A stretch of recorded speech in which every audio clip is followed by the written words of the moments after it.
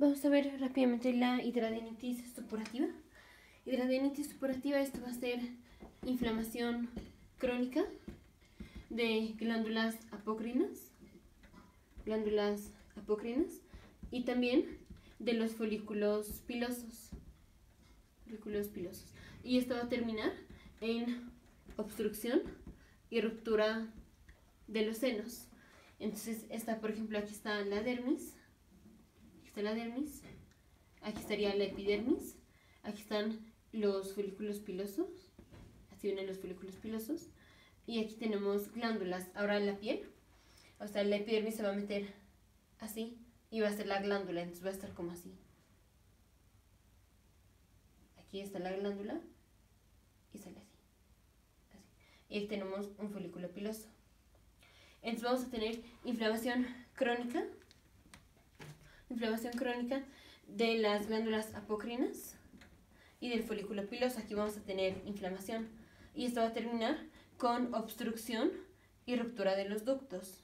Aquí el ducto por donde está saliendo el folículo piloso, ahí vamos a tener obstrucción y ruptura de los senos. Esa es la definición. Lesiones. ¿Qué vamos a tener?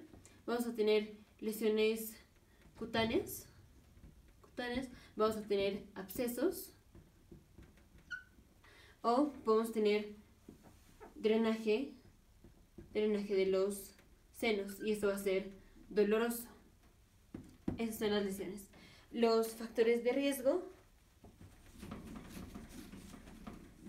Factores de riesgo es que el paciente tenga obesidad, que el paciente fume o que el paciente tenga historia familiar de tener hidradenitis supurativa. Diagnóstico va a ser diagnóstico clínico en donde vamos a encontrar lesiones, lesiones hipertróficas, lesiones hipertróficas. Vamos a tener tractos senos. Vamos a tener nódulos, nódulos inflamados, inflamados recurrentes o sea, el paciente se le van a estar inflamando, inflamando, inflamando los nódulos y va a ser generalmente en el área intertriginosa. Intertriginosa. Y esto es lo característico. Las lesiones hipertróficas y los nódulos inflamados recurrentes en áreas intertriginosas. Ese es, así es como hacemos diagnóstico. Y tratamiento. Tratamiento va a ser primero vamos a dar nada más terapia conservadora, conservadora, en donde no vamos a dar antibióticos, no damos antibióticos, vamos a hacer lo que, lo que es contrario a los factores de riesgo. O sea, si el factor de riesgo es tener obesidad, vamos a hacer que el paciente pierda peso, pérdida de peso.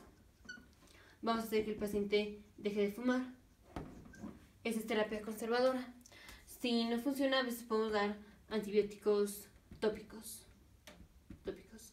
Pero en principio evitamos los antibióticos y damos terapia conservadora.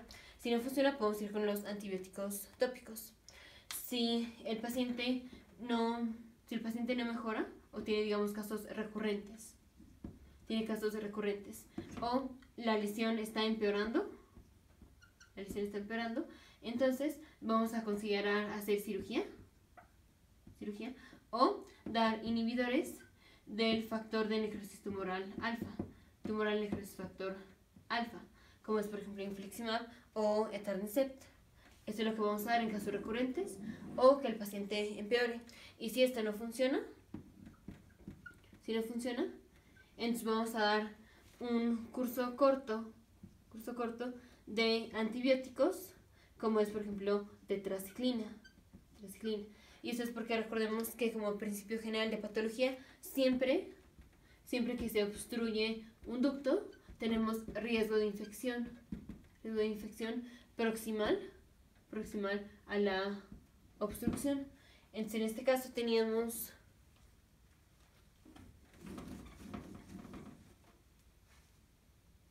estaba la dermis, aquí estaban las glándulas y por exterior el folículo piloso.